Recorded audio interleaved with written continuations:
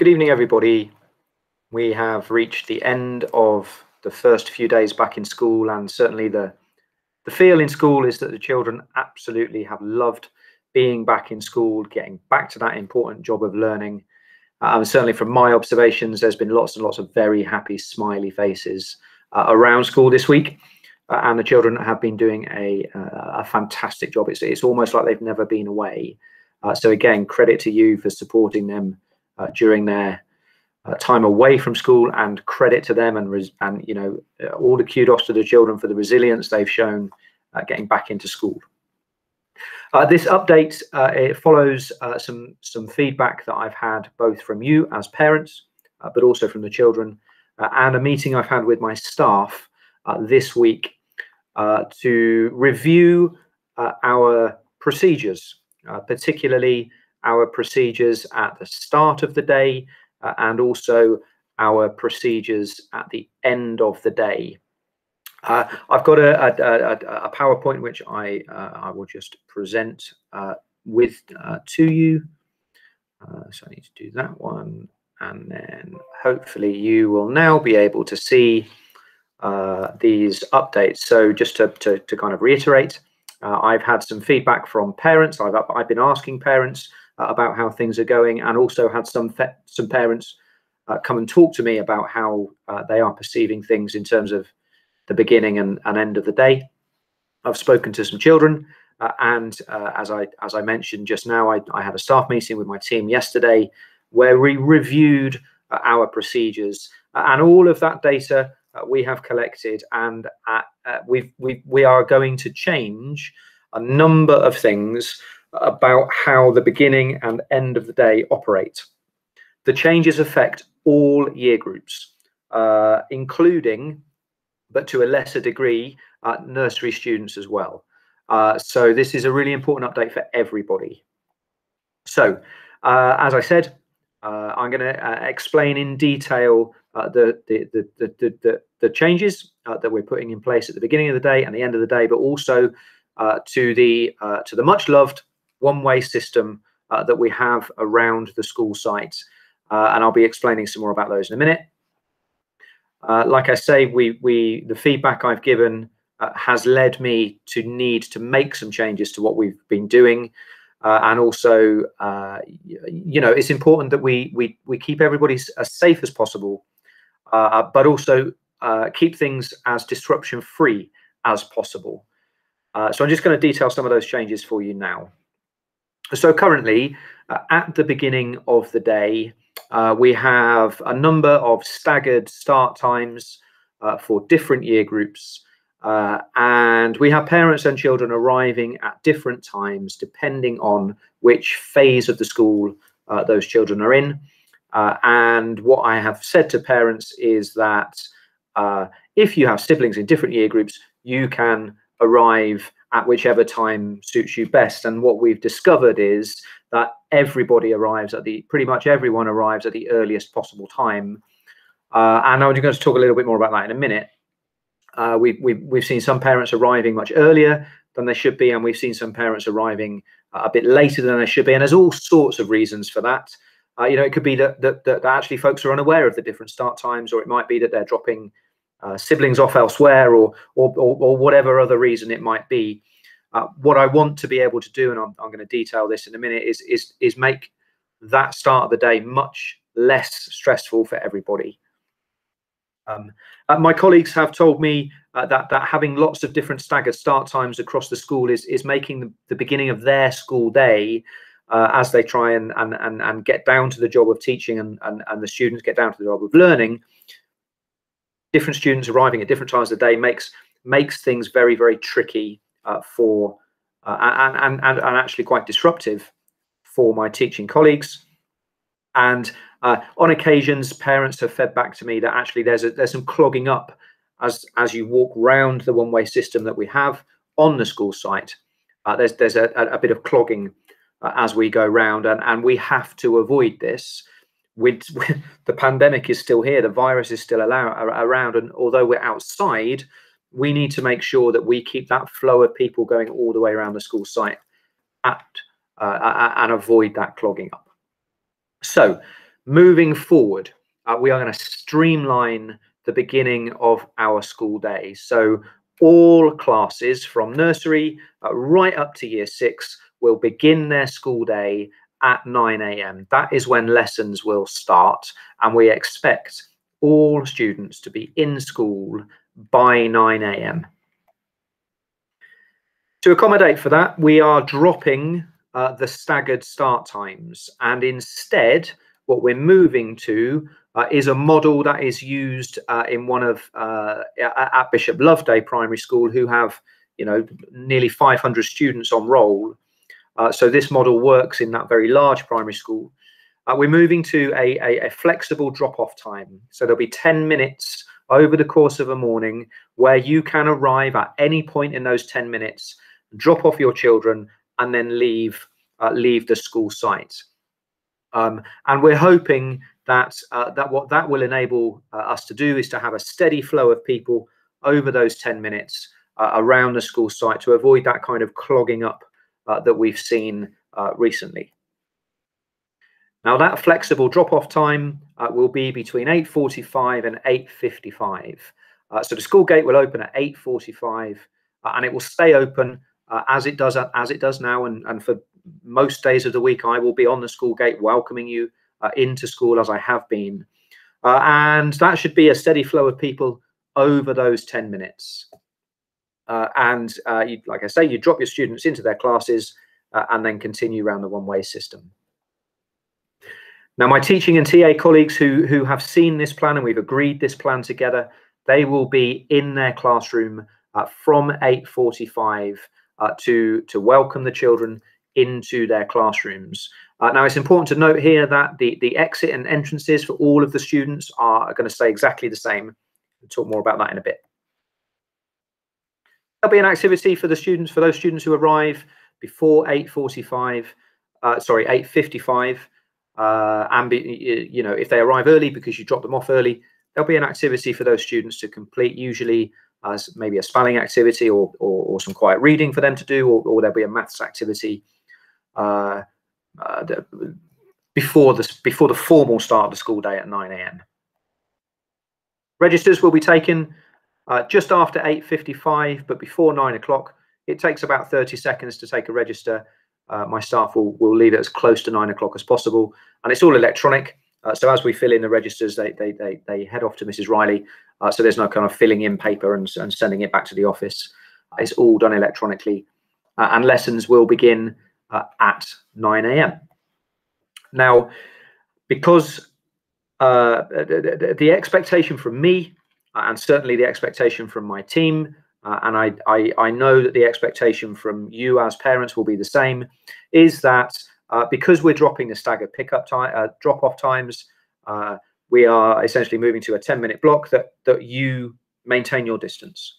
We know the science tells us that social distancing is still one of the most effective ways of, of, of reducing the transmission rate of the virus. Uh, and certainly data that I've seen today uh, from where I live uh, in West Oxfordshire is certainly showing an increase uh, in the number of COVID cases. Uh, I've not looked at Northants data for today, but but we need to do everything we can to keep those uh, those rates down. And so social distancing at, at drop off is still really important. And I'm I've been pleased to see uh, that folks have been taking that very seriously in the last few days. So, uh, so I'm really grateful for that. Uh, and also, as has been since June last year, uh, the wearing of masks. And again, loads and loads of people, most people, in fact, have been wearing their masks at, at pick up and drop off. And again, I'm really grateful for that as well. So, just to be clear, uh, that all lessons in all year groups uh, will begin at 9 a.m. Now, the end of the day uh, is the thing that my, my my team and I spent most of our meeting yesterday discussing, because we have a number of concerns which I'll, I'll share with you shortly uh, about and and we want to make things better for everybody. Um, so, excuse me. Currently, uh, we have a number of different finish times for for different year groups, as we have since June and July last year. Uh, but but most recently, uh, we've introduced some slightly different start and finish times, and actually, what that's led to is is more disruption and more confusion. Uh, and while our youngest students in school, so I'm talking now about our reception students, our year one and year two students, um, uh, while those students uh, start latest currently, uh, they don't start school until 9 a.m. What we're seeing is a lot of those students are arriving because they have older siblings in school. A lot of those students are arriving as early as 20 to 9 uh, because their siblings are being dropped off at the same time. They have the earliest lunchtime uh, in school, so they, they sit down to have lunch at midday, and then they currently finish the latest uh, of all the year groups in school. Now, the older year groups start their day earlier and finish their day earlier, so that the length of the school day is the same. But we have some of our reception students who are being dropped off in school at 20 to 9 and finishing their lessons at 3.30. And my team and I share these concerns, actually, uh, that, that that makes the afternoon session very, very long for the youngest children in school. Uh, and actually, what we want to do is to to uh, to kind of rebalance out uh, how our school day works and, and how it finishes. So, um, and again, uh, parents have told me uh, that as they're walking around with the current system as it is, there is lots and lots of clogging up uh, around the one-way system, which again we need to make sure we avoid for reasons I described earlier. And actually, my own observations from the last few days being up on the school gate at the end of the day uh, is is that some parents, not not everyone, you know, the vast majority of parents arrive at the right time and, and so on and so forth, but some parents are not arriving at the at the times that that I asked them to arrive last week, uh, and and uh, they're either arriving earlier or later. And I think that that is because we've got too many staggered start and finish times, and it's just creating lots and lots of confusion. So moving forward, again, to streamline that procedure at the end of the day and make things flow better uh, for everybody, including parents, uh, there's some changes coming. Now, I want to be clear that there are no changes to the nursery finish time. So if you are a parent whose children attend our, our preschool, uh, our, our nursery class, then there are no changes. You will finish at three o'clock as you currently do. You will come up to reception uh, to the office to come and collect your children as you currently do. So no changes to you. But for the rest of the school, uh, we are going to implement just two different finish times. One for our youngest students in reception, year one and year two, and one for our students in years three, four, five, and six. Really simple and straightforward. So if you have a child in reception, year one or year two, your finish time, your lessons will finish and you will be uh, at 3.20. We, I would ask that parents of uh, children in those classes arrive to collect their children at 3.15. They will be ready for collection at 3.20. For students in years three to six, your school finish time will be 3.30. Your lessons will finish at 3.30 and I'd like to ask those parents uh, of students in Key Stage 2 uh, to arrive at 3.25, ready to collect your children at 3.30. Now, if you have children in Key Stage 1 and Key Stage 2, you can collect your youngest children first and walk round to the Key Stage 2 playground and then wait for your older children if you need to. We know that some of our older students walk home on their own and we also know that some of our older students meet parents at the top of the hill. And again, that's good for developing that independence. And I, I don't want to stifle that. So if you do that currently, then please continue. Our playground, we again, I've, I've mentioned this before, but our playground is, is very big. Uh, we are able, even if we all gathered on the playground at the same time, there's space enough that we can all social distance. Uh, and again, I would appreciate it if you were, were able to do that, please. Now, in order to make all of this happen as smoothly as possible, my my team and I spent, as I say, we spent a, a good half an hour or so trying to work this out yesterday uh, to make things better for everybody. Uh, and that means we need to, in order to make this happen as smoothly as possible, we need to change the direction uh, of our school one-way system that we've had in place. Now, the route around the school that currently as it is, is not changing. So um, the route will stay exactly as it is now and as it has been since we introduced it, uh, but you need to go the opposite way round the one-way system. Uh, so instead of coming in at the pedestrian gate at the top uh, and coming down the hill and going into what, what I call the field gate, uh, you go the other way round the system. Uh, so you kind of come backwards down the hill, come down the hill and past Mrs. Riley's office, past the window of my office and round uh, to the new nursery gate, which is next to the hall, walk through the nursery playground, into the Key Stage 1 playground, uh, and then around into the into the Key Stage 2 playground, and then exit via up the, the hill next to the, the outdoor classroom and out uh, on the path. So the route stays exactly the same. What we're hoping that this will do is allow those parents of the youngest children to collect their, their children and then move on, move round the system to the key stage two playground where there's more space to wait. Uh, and so that we eliminate that clogging up uh, that we have seen. What these changes also do is, is just make the end of the day slightly earlier for our youngest children, because if you remember, we were concerned about that afternoon being a bit longer for them. And it also gets us back to the kind of we're thinking about we're not far away fingers crossed we're not far away from being back to kind of normal. Uh, and as school uh, certainly i would imagine from september we'll be back to the standard start and finish times for the school day. This is the next kind of step forward uh, to get to that.